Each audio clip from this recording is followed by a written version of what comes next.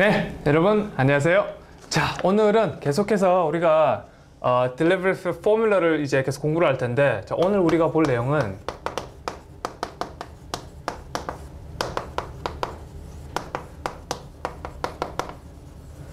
자, delivery of trigonometric functions예요.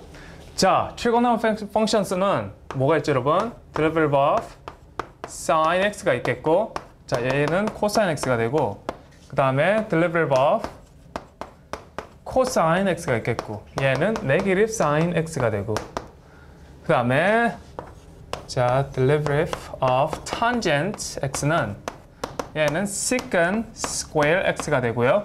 그 다음에 derivative of cotangent x는 얘는 negative cosecant square x가 돼요. 아시겠죠? 자, derivative of 어, secant x는 얘는 secant x tangent x가 되고요. 자, 마지막으로 derivative of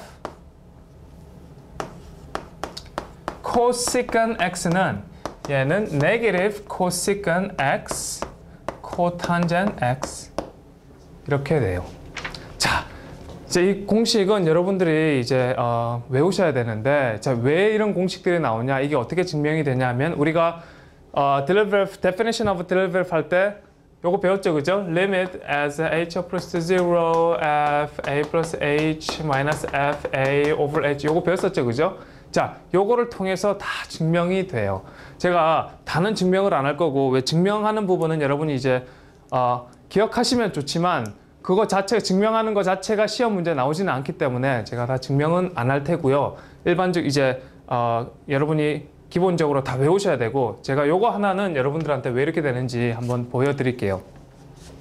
자, 근데 여러분 한 가지 꼭 기억하셔야 되는 거는 여러분 이거 다 외우셔야 돼요. 아주 기본적인 거고 아주 중요한 거예요. 자, sin x 우리가 어, 리밋 저기 뭐야 derivative 미분의 정의가 어떻게 됐었죠? limit as h approaches zero f a plus h minus f a over h였죠, 그죠? 이거 기억나죠?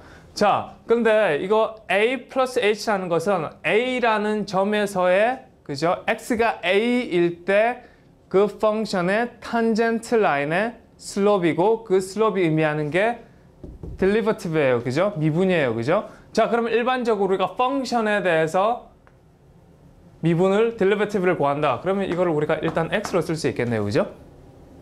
이해되죠? 자, 그러면 주어진 펑션이 만약에 sin x다. 자, 그러면 요거를 여기에 해서 한번 풀어보면 되겠네요. 그죠? 자, 그러면 limit as h approaches to zero. 자, fx가 sin x다. 그러면 fx plus h는 sin x plus h가 되겠네요. 그죠? 네, 그러면 sin x plus h 얘는 sin x plus h 마이너스 sin x over h가 되겠네요. 그죠? 자, 그럼 요거 어떻게 풀리죠? 자, limit as h approaches to zero.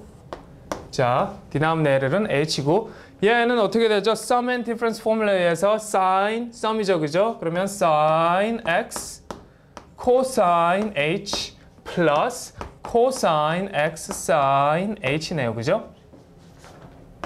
그리고 마이너스 sin x가 되겠네요, 그죠?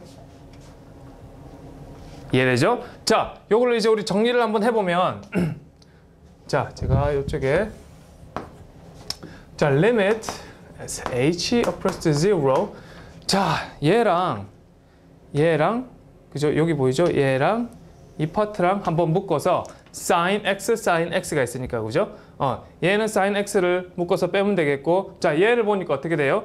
지금 limit h approaches h approaches to zero예요. 그죠? 그럼 cosine x를 앞으로 뺄 수 있겠네. 자, cosine x limit h approaches to zero 얘는 sin h over h네요. 그죠? sin h over h가 되고 맞나요? 자, 그 다음에 어, 제가 여기 밑에 쓰면은 마이너스 sin x를 빼게 되면 어떻게 되죠? sin x를 빼게 되면 limit as h approaches the zero. 자, 남는 거는 sin a sine을 뺐으니까 1 minus cosine h가 남겠네. 그죠? 그래서 네기르 사인 타임즈 1은 네기르 사인이고 네기르 사인 타임즈 네기르 코사인 h는 플러스 사인 x 코사인 h가 되겠네. 그죠? 네, 보이시죠? 자, 그래서 여러분 이거를 이제 정리하시면 되는 거예요. 자, 우리가 two special trick에서 뭐를 배웠죠? 요거는 요거는 원이라고 배웠죠, 그죠? 왜 이렇게 나왔는지 우리가 스퀴즈 theorem에서 다 봤죠, 그죠? 자, 요 파트는 뭐예요? 얘는 얘는 zero죠, 그죠?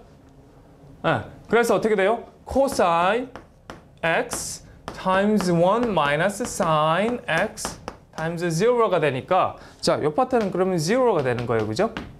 네, 그래서 어떻게 돼요? cosine x가 나오는 거예요. 자, 그래서 펑션 f 자, 펑션 fx가 sin x로 주어졌을 때 이거의 derivative는 어떻게 된다고요? cosine x가 되는 거예요. 네, 아시겠죠? 자, 그래서 이렇게 이제 어, definition of 어, derivative 통해서 그죠? 리밋을 통한 definition을 통해서 저게 다 증명이 되는데 자, 여러분 어, 제가 하나 보여드렸는데 자, 왜냐하면 워낙 궁금해하는 학생들이 많아서 제가 보여드렸는데요. 자, 이 과정을 여러분이 기억하시면 아주 좋고 기억을 못 하셔도 되지만 이 공식 자체는 꼭꼭 기억을 하셔야 돼요. 그래야 우리가 이제 문제를 풀 수 있으니까요. 아시겠죠? 자,